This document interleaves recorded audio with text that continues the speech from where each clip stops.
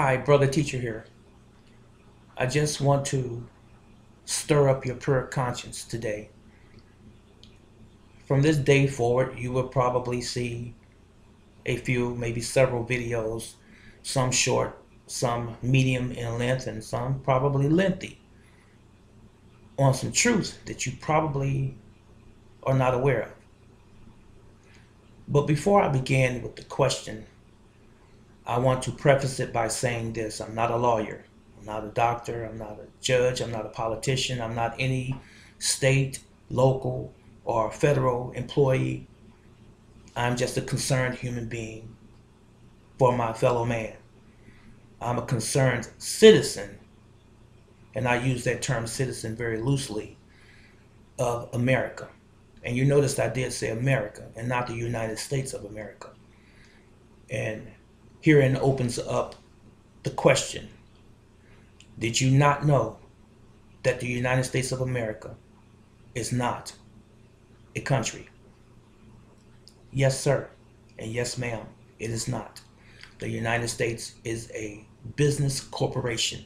Yes, it is a for profit business or corporation.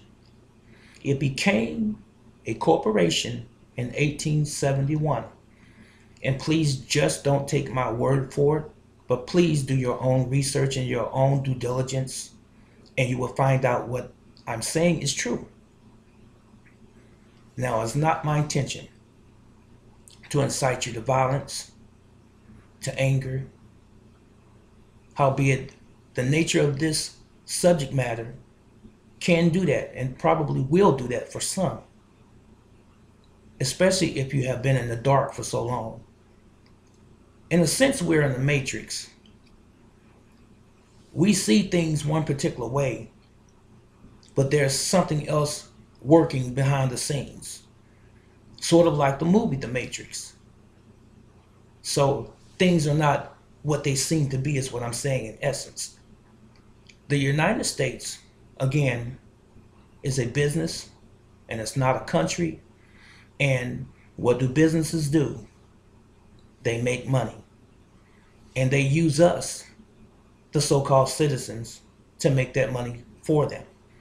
The United States is owned by international bankers. I said that, yes, it is. It's owned by international bankers. How did that come to be?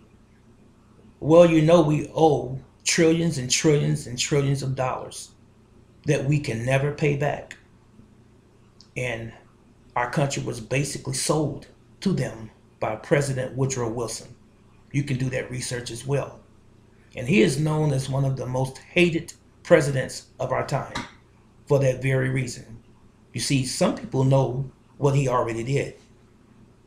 He sold our birthrights to the bankers in exchange for his presidency.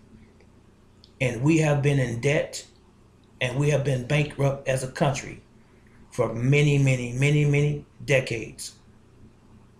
So please do yourself and your family a favor and do the research. It doesn't take that long to find out. For your convenience, I will leave in the description and or comment section below this video a couple of websites and or URLs if you will as a reference. But don't just seek all of the information there go on a journey and find out what has been done to the American people.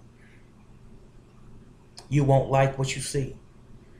So, for those that are interested in truly knowing what freedom is and truly knowing what our country really represents, you will do this work and you will benefit from it. Trust me and the scales that have been on your eyes all of these years will fall off. So I encourage you, please leave a comment or your comments in the comment section below this video. And tell me what your feeling is. And tell me if there's anything that I can offer in terms of some other resources for you some other reference points for you And I'll do that. Okay? And as always, this is Brother Teacher. I love you. And Yahweh love you. May he richly bless us all. I'll see you in the next video. And so